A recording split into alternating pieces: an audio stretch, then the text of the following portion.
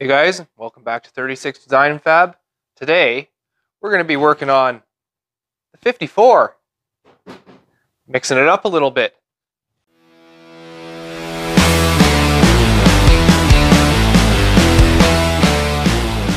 So this time we're going to start uh, working on the uh, roll bar for the 54 here.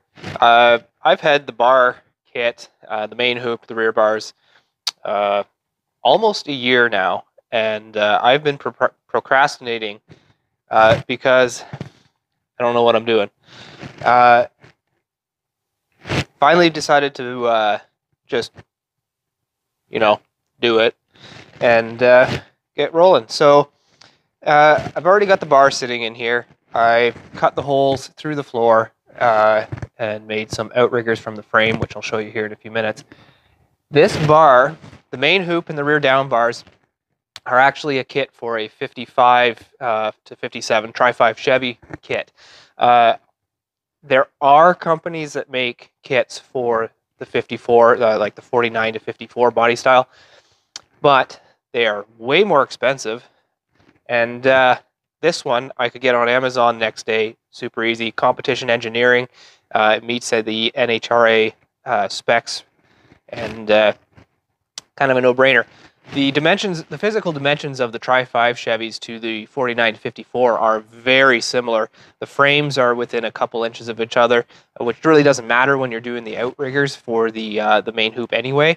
So uh, I thought for the for the uh, the price and the availability and all that, uh, just ordered up this competition engineering uh, 55 Chev uh, six point kit. Um, in its current setup, I don't have the the uh, the door bars. Uh, it, this kit just came with the main hoop and the uh, rear down bars. Uh, I think for now, I'm just going to run this as a four point, which really, as far as NHRA concer- is concerned, it does nothing. They don't classify that as a as a uh, a legit roll cage or roll bar. Um, I will put door bars in eventually. Uh, just for now, that's what I got. I want to get this in, painted, uh, and looking decent. Uh, but for now, roll bar. Let's get started.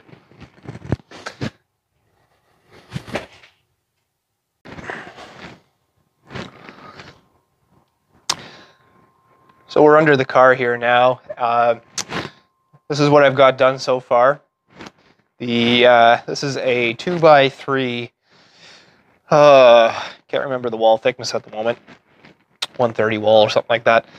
Uh, rectangular tubing, uh, outrigger. So NHRA uh, rules say that on a full body, full frame car such as this, the uh, roll bar has to come down and make contact with the frame. You cannot uh, plate it to the floor like you do on a unibody car. So the problem with uh, these cars and the Tri-5s and a whole bunch of others is the frame is actually quite inboard uh, of the rocker panels. And so if you were to put the roll bar uh, main hoop directly on the frame, it would make it really narrow and just cause a whole bunch of problems, uh, probably because of the uh, the narrowed width wouldn't even pass NHRA tech. So you have to weld these uh, outriggers on to the side of the frame. Has to be welded all the way around. And it has to uh, be tied into the rocker panel as well. Essentially making the car a unibody frame, really. Uh, so, like I said, two by three uh, rectangular tubing. I uh, cut out with a air hacksaw, and I'll cut to a clip here in a second showing me doing that, which was an absolute nightmare. I will tell you, my air saw is dying a slow death, and I think it's done.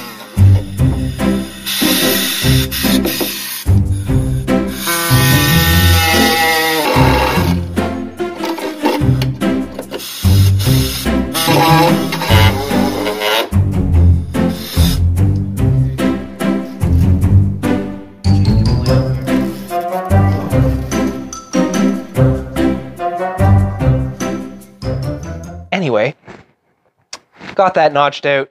Tubing is slid in nice and tight to the frame. I still have to come back in here, uh, clean the paint off the frame on the on the face there to uh, uh, clean that up for welding. So we'll uh, we'll do that. Once that's in, welded and secure, then the main hoop comes down, rests right on top of the uh, rectangular tubing here. Burn that in, uh, and we got our main hoop in. Rear down bars are going to be challenge, but we'll get to that when we get there. Uh, for now, I got to do some paint grinding, and I'll tell you, it's uh, hmm, three degrees Celsius in the garage right now, which is I don't know, like 30, 35 degrees Fahrenheit for you uh, U.S. folks. Uh, so it's a bit chilly in here, and it is even colder down here on the floor. I need a bigger and warmer shop. Let's go, guys. Sort of the uh, the push for me to get started on this is uh, a buddy of mine uh, called me up and said, or texted me, and said, "Hey, man, I'm putting my car into a uh, big car show down in the city, and uh, in June, and want to know if you want to and put your car in it." And I thought, "Yeah, man, let's do that." But I don't have a car that's uh, ready to be shown, so I got some work to do uh, within the next uh, what three or four months.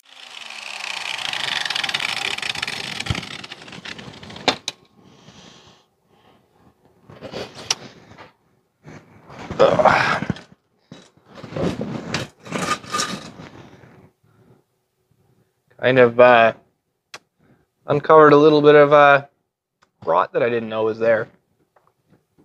Inner rockers are a tad thin, so gonna have to uh, patch that, I guess.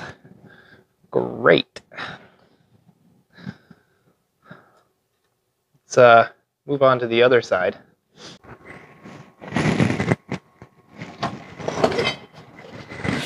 There, we got the other side all cleaned up. Uh, here's my outrigger.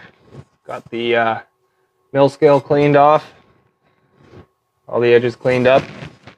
So she's gonna go something like so. She's a tight fit. There we go. Nice and tight. There. She's in. Time to weld.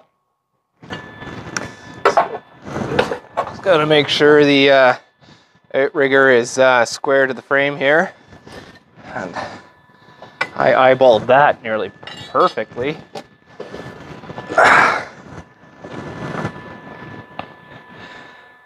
Get in here and give it a tack weld double check that everything's where we want it, and uh, we'll go for the, oh, dinner's ready.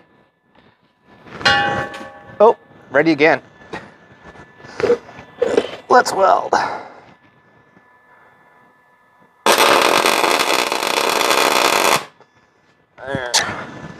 Nice tack weld.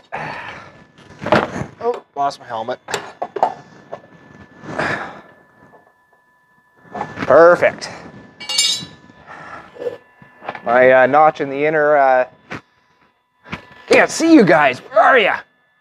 Whoa! Hey, there you are. So my uh, my notch in the inner uh, uh, rocker panel here will locate the outside of the outrigger, and I've got it uh, fairly flush with the top of the frame rail.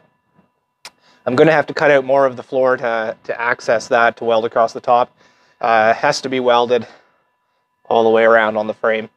So uh, unfortunately, I got to hack more of the floor than I really want to, but uh, you know, trying to do this right. So let's get this thing welded in on the underside and I'll keep on rolling.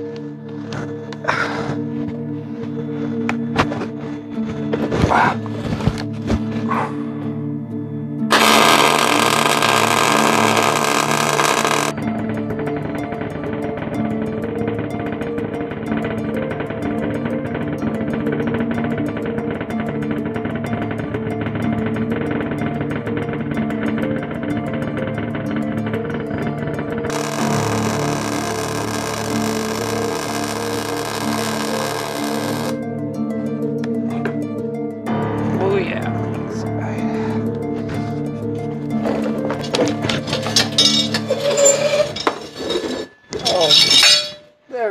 Much junk under here. I can't see. I can't move. Ah. I hate, hate working on a creeper.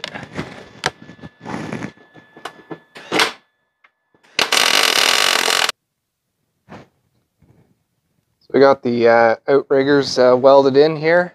I won't even tell you how frustrating this is welding that thick steel to the thin sheet metal of the rocker panels. Holy, that sucked. So here you can see the uh, main hoop resting on that outrigger there. Uh, I'm going to need to put a uh,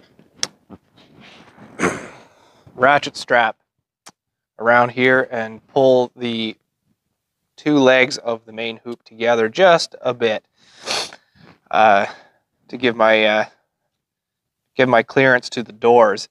Uh, being that this car is a four door, it uh, raises a few extra issues that you wouldn't with a two door. Uh, mainly the, the function of the rear doors, but also you can see, hi, reflection. You can see the, uh, the roll bar hoop there, uh, whereas a two-door, it would be hidden, be usually be hidden behind the post here. Uh, so unfortunately, it, I mean, it is what it is. I got to deal with it. Um, but I want to keep the function of the rear doors. And uh, so I need these tubes to get pulled in a little bit. Not doesn't it's not going to take much, maybe, maybe a quarter inch.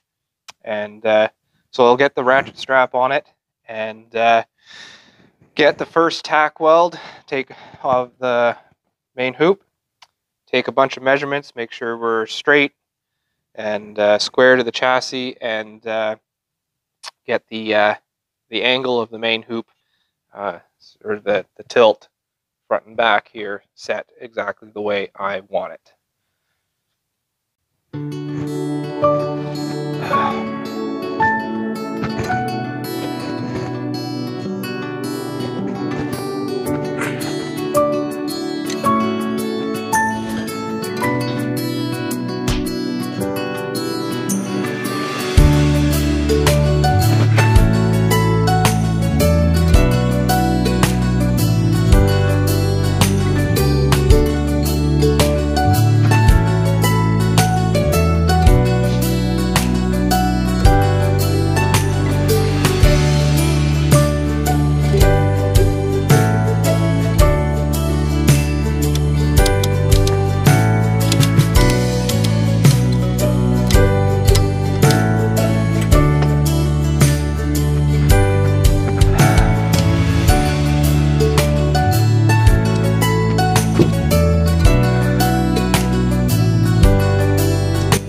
Worst part about working inside the car is I just can't see a thing.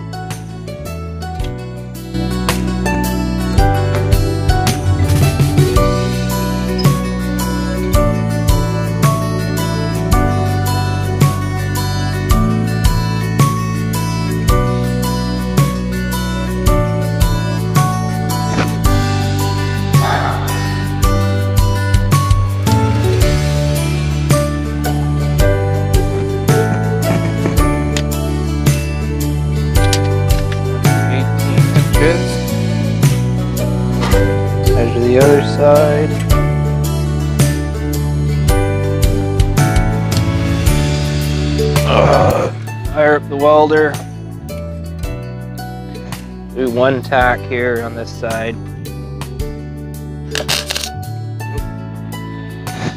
Need my helmet. Give myself welder splash.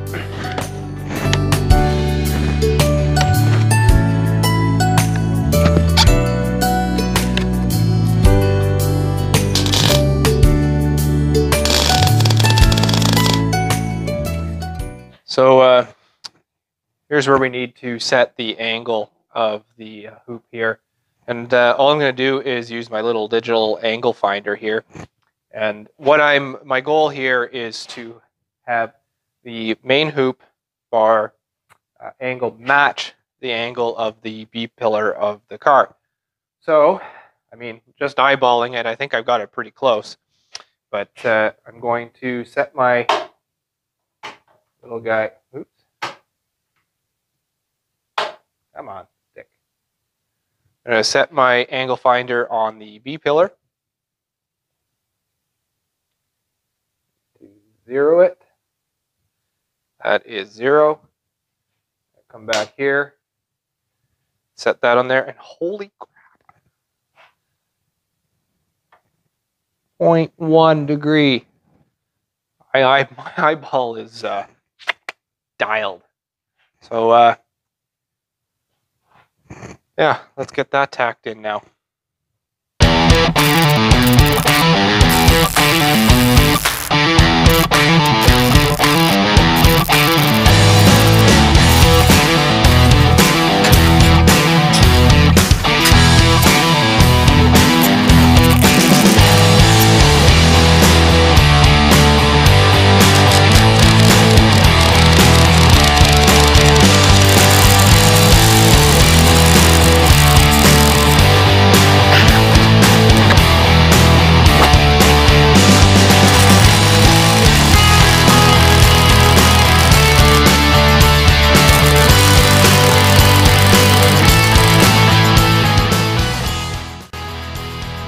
Got the uh, bar welded in. Uh, how nice and tight that fits the headliner. Uh, gap on the, the center, but that's fine. Welded. Uh, next step. Next step is going to be uh, doing the uh, rear down bars. And I'm uh, going to be honest, I'm not looking forward to it.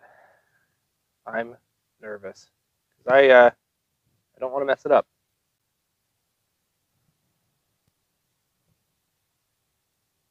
So a little change of plans. Uh, decided to uh, hold off on the uh, rear down bars. Uh, I got to do some thinking. The pre-bent bars for the Tri 5 Chevy, like this close to fitting uh, the way they're supposed to in this car. Uh, if I flip the bars around so that the uh, the short section before the bend is in the trunk, it fits. However, I'm not sure I like how the bar kind of drops down below the uh, rear door opening. So while I'm thinking about that, I uh, went ahead and I measured and cut for the uh, harness bar.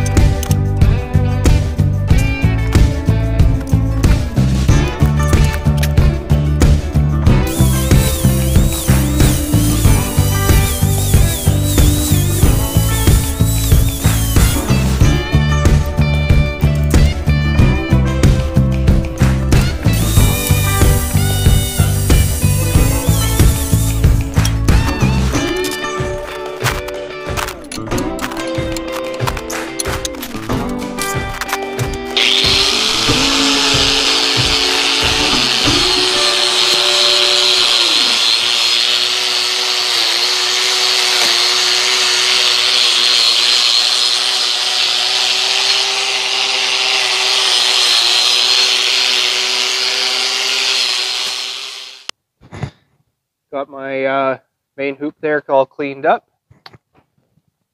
So what we're gonna do, so on this pipe, the way I set it up was uh, that the uh, the seam of the tubing would be at the bottom. I just think it's just a nicer look. Uh, even though it's going to be painted, and you probably wouldn't even see it. Uh, you know, just want to make sure it's good. So I'm going to slip the pipe up into place. And so that's a nice snug fit, just friction fit. So again, I'm uh, going to take my uh, little digital angle finder. I'm going to put it up here on, I know you guys can't really see that, up here on the main bar. Zero it. Then bring this down here.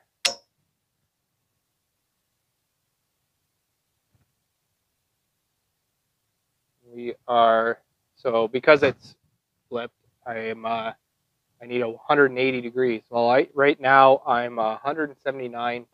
I believe this side. Whoa, lost her.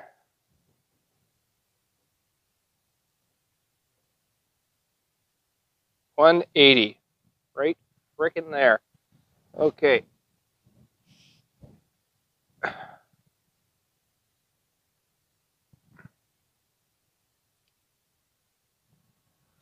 Okay, I'm gonna go grab a couple clamps to hold this. Hopefully it doesn't fall.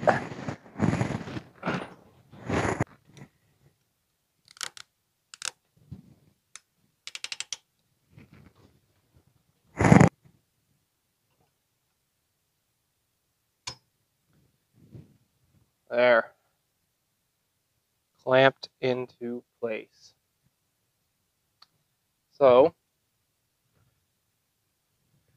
uh, next step's going to be get out the TIG welder and get myself comfortable. And uh, hopefully I can make these welds look. I hope I can make these welds. Um, yeah. All right, let's go.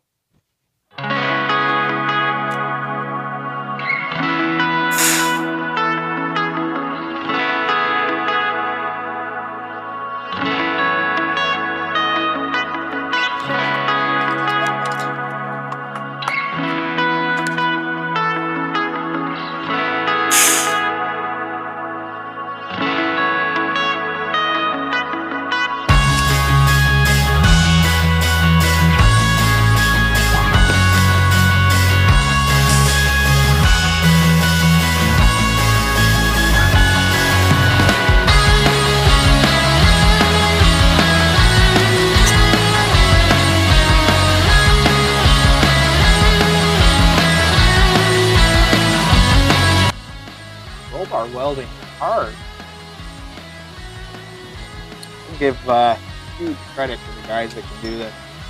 Just look amazing. I'm not one of them.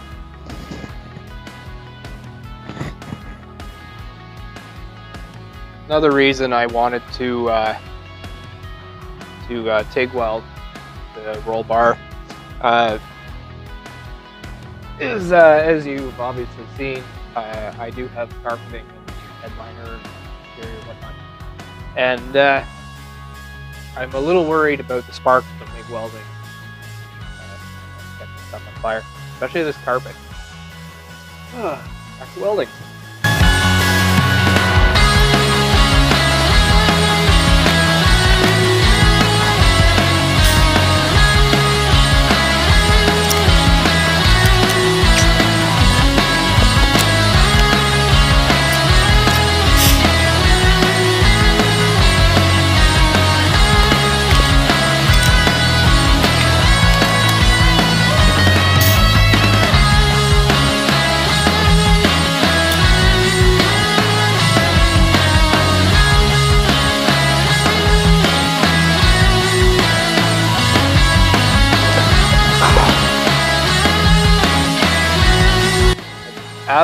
Biggest pet peeve about welding, is hitting my bloody hel- helmet off of stuff. God, that drives me nuts.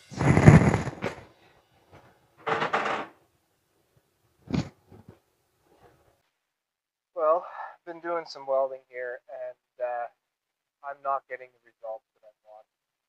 Uh, rule number one rule for TIG welding is get comfortable and make sure you can see. I can't do either of those in here.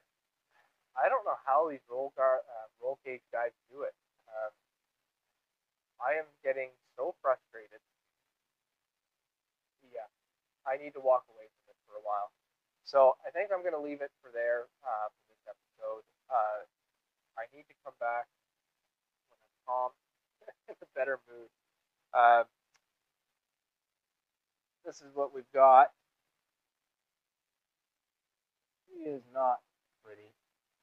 So I, I I don't know. I really don't know what I'm going to end up doing. Uh, if I can't get this sorted out and get a decent looking weld on here that I'm confident in, I may end up just coming back in here with the uh, die grinder, grinding those smooth and MIG welding them around. Uh, I don't know. I need I need more practice on this page. That's all really what it comes down to. And uh, if anybody has any uh, any tips, uh, please please let me know. I'll tell you one thing. I hate welding helmets. It always seems to me when I'm welding, that damn helmet gets in the way. I'm hitting my head off of stuff. I get either too high or too low. I can't see through it. I wish there was a way I could weld with this stuff without wearing stupid helmet, not, you know, getting welder's flash and all that. Uh, so if anybody knows like some auto darkening goggles, you know, that would be cool. Uh, yeah. So anyway, uh, that's it for this time. Hopefully, I'm in a better mood next time. And uh, we'll see you guys. Thanks for watching. Uh, like, comment, share, subscribe, all that good stuff, and uh, we'll see you. In this, uh, that sucked. I'm really bad at this. Oh, man. Frustrating.